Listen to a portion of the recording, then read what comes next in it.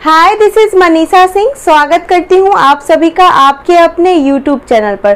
Friends आशा करती हूँ कि आप सब बहुत अच्छे होंगे और परीक्षा की तैयारी भी बहुत अच्छे से चल रही होगी। तो हाजिर हूँ आप सभी के बीच एक और जॉब की अपडेट को लेके, जो कि डायरेक्ट निकल के आ रही है इंडियन नेवी की तरफ़ से।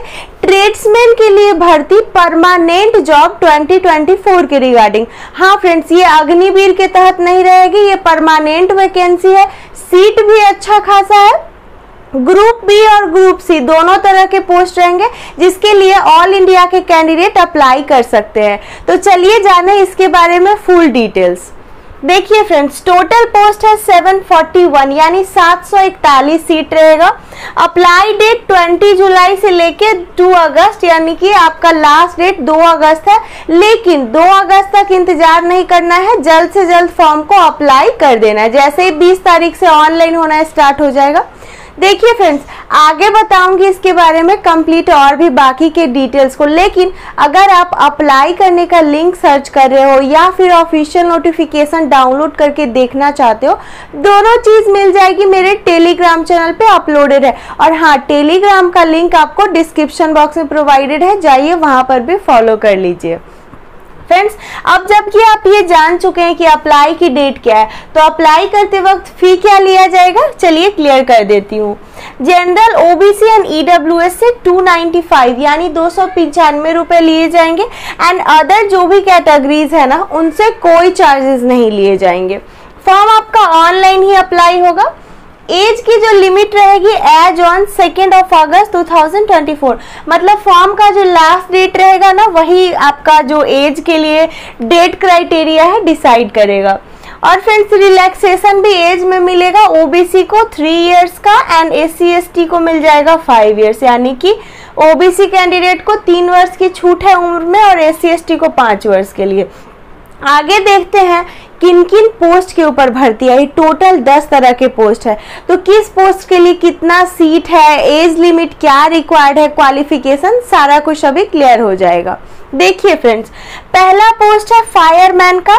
444 यानी 444 पोस्ट रहेगा।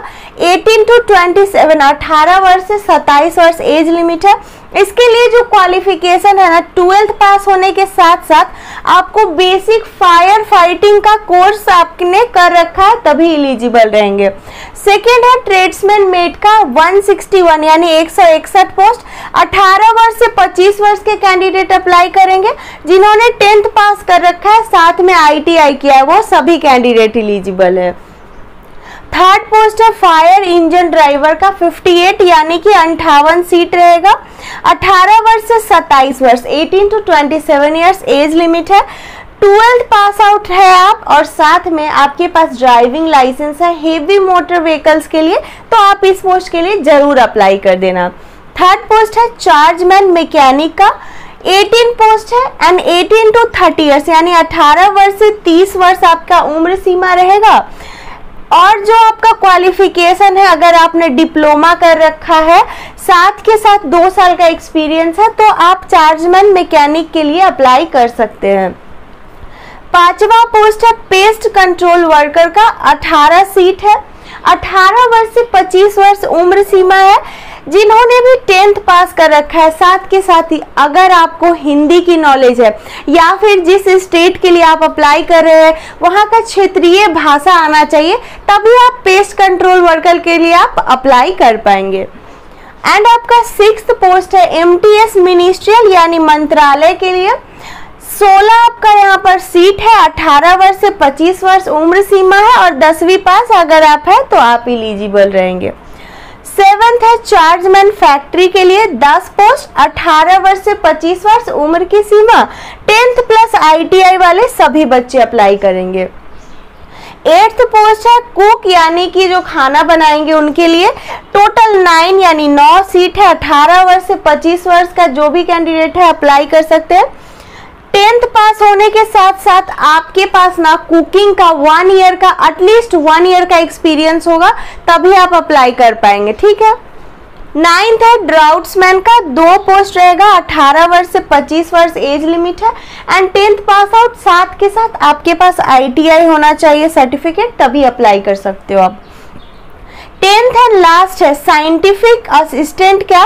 इसके लिए आपको चार पोस्ट रहेगा। 18 वर्ष से 25 वर्ष उम्र सीमा रखी गई है। बीएससी अगर आपने कर रखा है फिजिक्स या केमिस्ट्री सब्जेक्ट से तो आप अप्लाई कर सकते हैं। देखिए मोटा मोटी तौर पर सभी पोस्ट की जानकारी मैंने आपको दे दी। मोटा मोटी तौर पर क्या? सब कुछ तो क्लियरली बता ही दिया है कि किस पोस्ट का कितना सीट है एज लिमिट क्वालिफिकेशन लेकिन आप जिस पोस्ट के लिए अप्लाई करना चाहते हैं, उसके लिए बेहतर यही होगा कि आप मेरे टेलीग्राम से नोटिफिकेशन डाउनलोड करें और अच्छे से देखिए उसमें हर पोस्ट के लिए क्या काम करना है, क्या क्वालिफिकेशन है। एकदम डिटेल में बताया गया तो एकदम शांतिपूर्वक सारे पोस्ट के बारे में पढ़ना है, फिर डिसाइड करना है कि आप किस पोस्ट के लिए अप्लाई करेंगे, ठीक है? फ़िलहाल तो हमने पोस्ट के बारे में क्वालिफिकेशन के बारे में एंड समथिंग बेसिक डिटेल्स जान लिया है। आगे देखना ये है मेन टॉपिक ये आता है कि इस पोस्ट के ऊपर आपका सिलेक्शन कैसे होगा। देखिए फ्रेंड्स सिलेक्शन आपका ज़्यादा डिफ़िकल्ट नहीं है। मोस्टली पोस्ट के लिए बस रिटर्न एग्ज़ाम होगा डीवी और मेडिकल होगा। लेकिन जो भी कैंडिडेट फायरमैन और फायर इंजन ड्राइवर के लिए अप्लाई करेंगे, उनके लिए क्या होगा? पहले एग्ज़ाम होगा ऑनलाइन सीबीटी होता है कंप्यूटर आधारित परीक्षा होगी।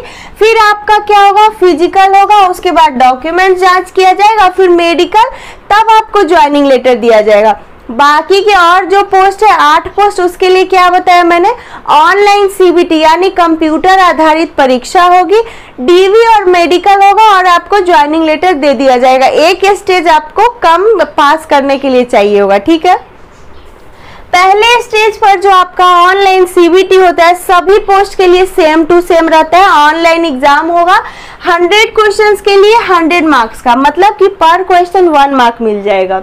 समय होगा 90 मिनट, यानी कि 1.5 पॉइंट आवर्स का आपका पेपर होगा and there will be no negative marking तो अगर आप कुछ गलत टिक करके आते हो तो there will be no mark deducted for your wrong answer तो ये एक अच्छी चीज़ होती है। मान लीजिए, कोई क्वेश्चन है, उसके आंसर पे आपको सस्पिशन लग रहा था तो आप टिक करके आ सकते हैं। क्या पता आप सही टिक मार के आ जाए? आई होप आप मेरे पॉइंट को समझ गए होंगे बट ऐसे पढ़ाई करना है, तुक्का लगाने के चक्कर में नहीं रहना है। सब्जेक्ट वाइज अब बता देती हूँ। देखिए जनरल इंटेलिजेंस यानी रीजनिंग से होगा 25 क्वेश्चन 25 नंबर के लिए। फिर इंग्लिश लैंग्वेज के 25 क्वेश्चन 25 नंबर के लिए। क्वांटिटेटिव एप्टीट्यूड यानी मैथमेटिक्स के 25 क्वेश्चंस एंड जनरल अवेयरनेस के 25 क्वेश्चन मतलब जीके जीएस है नॉर्मली जो होता है ना जनरल कंपटीशन का, चारों सेक्शन से 25-25 क्वेश्चन है रीजनिंग मैथ जीके और इंग्लिश तो सिंपल सा एग्ज़ाम का पैटर्न है. इसमें क्वालिफाई करने के बाद बाकी पोस्ट वालों के लिए तो बस क्या होगा डॉक्यूमेंट जाँच किया जाएगा और उसके बाद मेडिकल करा के उनको ज्वाइन कराया जाएगा. लेकिन, जो भी बच्चे फायरमैन और फायर इंजन ड्राइवर के लिए अप्लाई कर रहे हैं। उनका क्या होगा? ये एग्ज़ाम होगा। क्वालिफाई करने के बाद फ़िज़िकल होगा। तो फ़िज़िकल क्राइटेरिया, चलिए मैं समझा देती हूँ। देखिए फ्रेंड्स, सबसे पहले तो आपका हाइट मीजर होता है। तो एक सौ पैंसठ सेंटीमीटर, यानी कि 165 सेंटीमीटर है, लेकिन एसटी वालों के लिए 162.5 सेंटीमीटर रहेगा। चेस्ट का कैलकुलेशन ये है कि 81.5 सेंटीमीटर से 85 सेंटीमीटर तक रहेगा।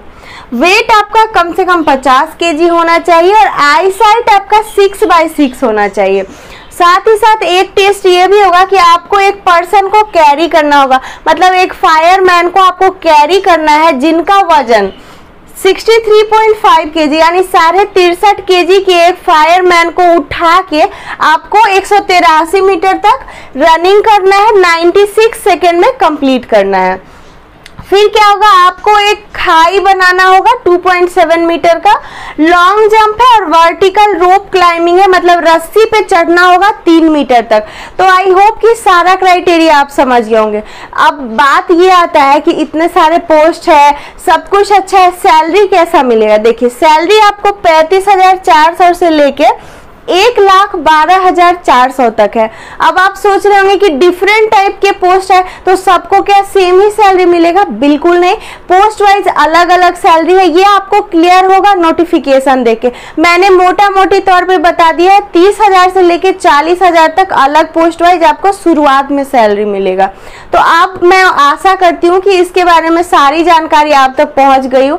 अब भी कुछ डाउट है तो कमेंट करके क्लियर कर लेना। हाँ अगर वीडियो अच्छी लगी हो तो एक लाइक ज़रूर कर देना, अपने दोस्तों के साथ भी इस वीडियो को शेयर कर देना। और साथ के साथ मेरे चैनल को सब्सक्राइब करके नोटिफिकेशन बिल ऑल पे सेट करके जाना, ताकि सारी न्यू जॉब की अपडेट सबसे पहले आप तक पहुँच सके। तो मिलूँगी फिर से किसी जॉब अपडेट के साथ, तब तक के लिए stay tune bye bye take care